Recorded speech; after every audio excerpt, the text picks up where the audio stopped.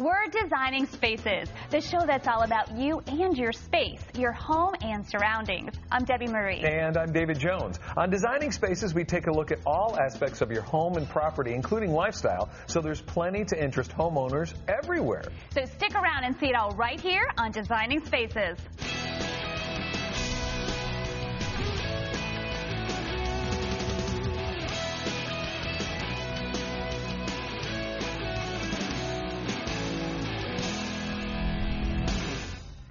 Debbie, ever hear of an automated home? No, but that sounds interesting. Yes, it does. In fact, here's Art Edmonds with the story.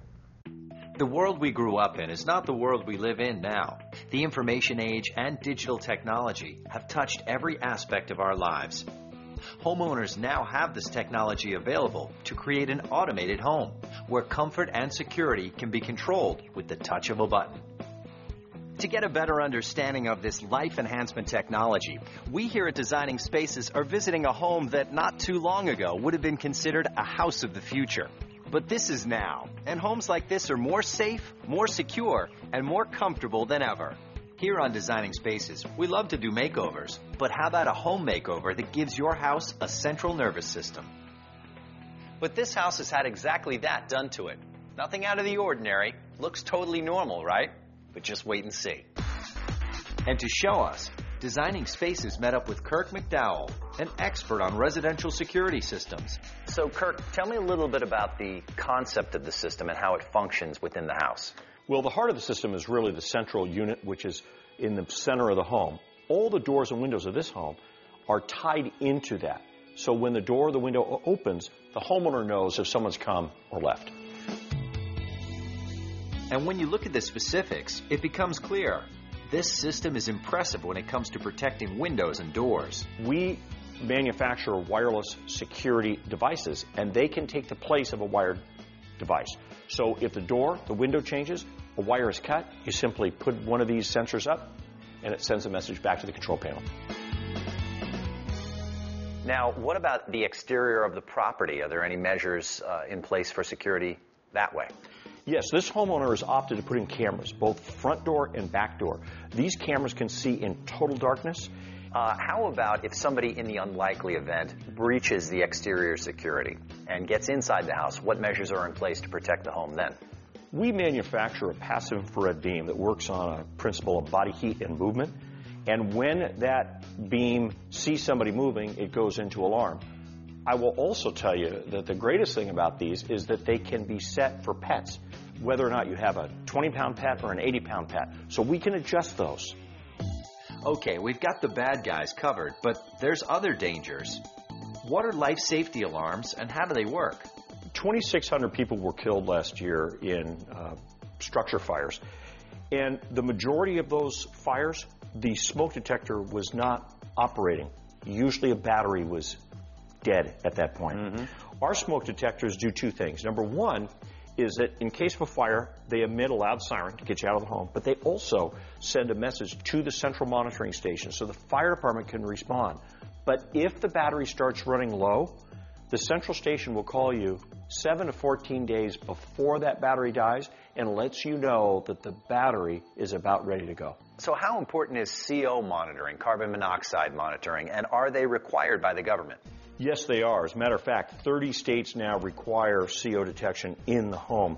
Very, very important. We call CO detection, or CO gas, the silent killer. Now, with a CO detection, you should have two or three in the home, and the best place to have it would be in the bedroom at what we call pillow height, on the wall, mounted on the wall, so you can hear it if it goes off. Another aspect of security is the ability to know who's in the house, coming and going, being able to check on pets, seniors, and children. Well, we call this our two-way talking touchscreen, and it enables me to install multiple codes for users in the home. So let's say you have a dog sitter coming in to walk your dog. You know exactly how many times they entered your home and it matches with what they said. It's a great way to keep track of people. It is. And then if I ever change dog sitters, I can simply remove that sitter's code and put in a new code. So run us through the paces of this. You know, activate it, deactivate it, show us around. Sure. Well, I go to bed at night, arm the system. In the morning, I get up. I walk downstairs and I want to look at the four day forecast. So I simply press a button on here on the touchscreen. Wow, look at that. And a four day forecast comes up telling me what the weather's going to be like here. Now, what I want to do is I want to go ahead and arm the system and leave the home. All I have to do is to press the button here, arm the whole system, walk out the door, and the doors are immediately going to lock for me. Well, Kirk, we've talked about the security aspect of the system and the life safety aspect of the system. Now, we're here in this office in front of a computer. Tell me about all the things that we can do uh, adjusting temperatures, turning on lights, turning off lights. What else? Well, you know, at 3 o'clock in the morning, Art, I want my system to act as a security system. But at 3 in the afternoon, I want it to act more as an information system. So here on my desk computer, you can see we're looking at my home right now.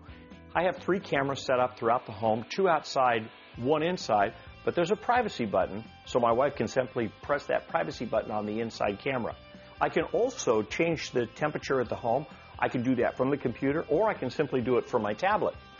The temperature right now at my home is 74 degrees. It's a little warm, so I like to put it and change it down to 71 degrees. So I simply press the down to 71, press the done button, and now all of a sudden by the time I get home, my temperature is down to 71 degrees. That is great. And everything you can see either on your computer or your tablet, you can see it on your smartphone as well. That's correct. So everything I can do here, I can do on the tablet, or I can do on the phone and actually look in to see what's happening in my home and, and right there's now. the camera again. You can see it right on your smartphone. That is amazing. Now, a system as sophisticated as this must cost an arm and a leg to install and maintain, no?